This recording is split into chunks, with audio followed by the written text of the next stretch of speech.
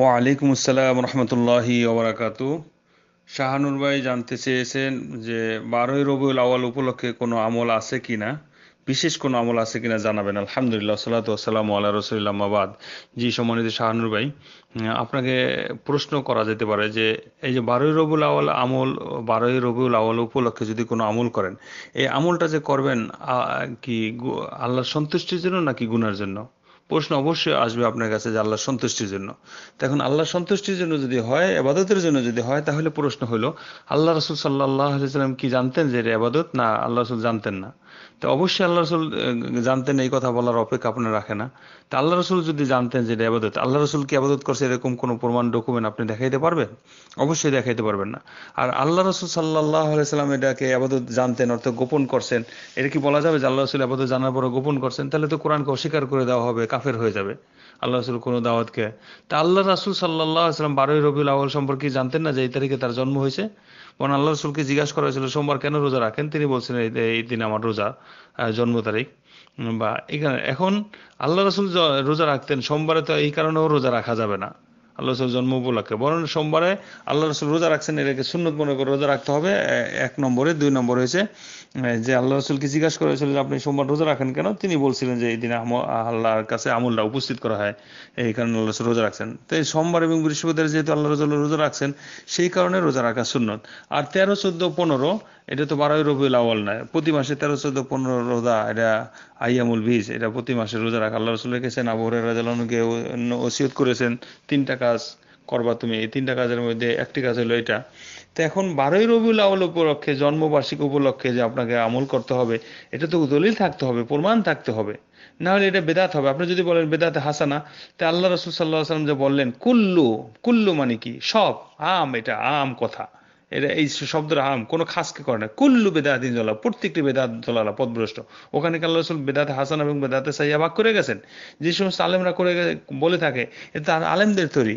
এত বড় ফেকা পড়া, এত বড় ফতুয়া পড়া, এত বড় হাদিস পড়া, তারপরে তারা এই সমস্ত ব্যাখ্যা বোঝে না, নিজের মন গড়া বানিয়ে নিচ্ছে বেদাতে হাসানা বলে, আবার কোনো আমল। এগুলি কোনো আমল এই দিনে খাস করা, কোনো আমল যদি এই উদ্দেশ্যে করে, সেটাও বেদাত, সেটাও গুণাগার হবে এবং সেটাও আল্লাহ রাসুলের বিরুদ্ধে অপবাদ চাপিয়ে দেওয়া হবে এবং আল্লাহর অপবাদ চাপিয়ে দেওয়া হবে। এই শরীয়তকে তারা বেশি বুঝেছে, বেশি করেছে।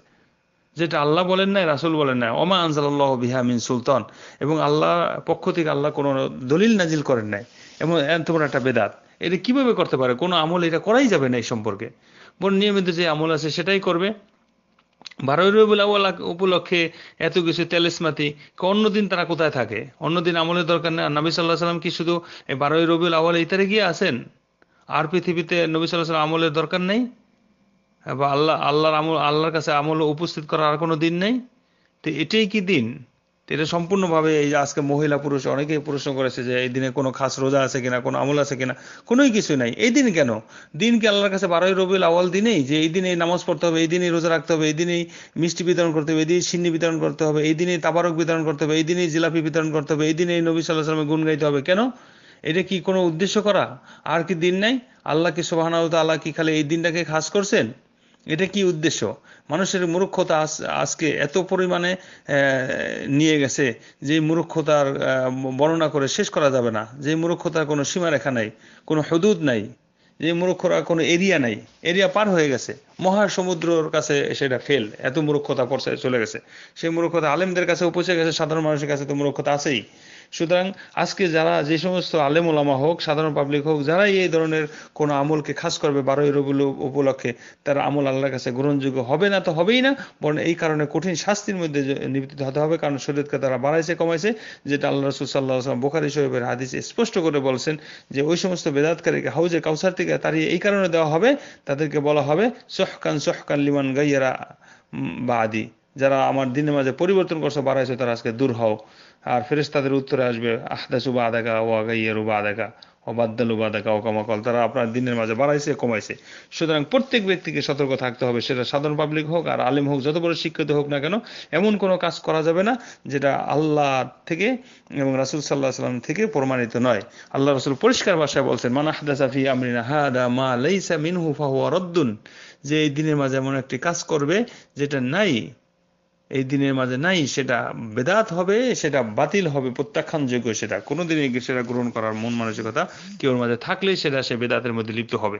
সুতরাং আমাদেরকে প্রত্যেক ব্যক্তিকে এই বিষয়গুলো সতর্ক থাকতে হবে না হলে আমল কবুল হবে না, পরকালে আমল দ্বারা সে ক্ষতিগ্রস্ত হবে। অতএব আল্লাহ সোহান তালার কাছে দোয়া করছি যে আল্লাহ যেন আমাদেরকে কোনো প্রকার বেদাত এবং সেরেক শরীয়ত বিরোধী কাজ না করে এবং সকল প্রকার শরীয়ত বিরোধী শূন্য বিরোধী কাজ থেকে আল্লাহ আমাদেরকে দূরে থাকার তৌফিক দান করুন। শূন্য মোতাবেক নবী সাল্লাহ সাল্লাম পূর্ণ ইত্তাবা অনুসরণ আমাদেরকে করার তৌফিক দান করুন। আল্লাহ আমিন। আসসালামু আলাইকুম রহমতুল্লাহি বারাকাতু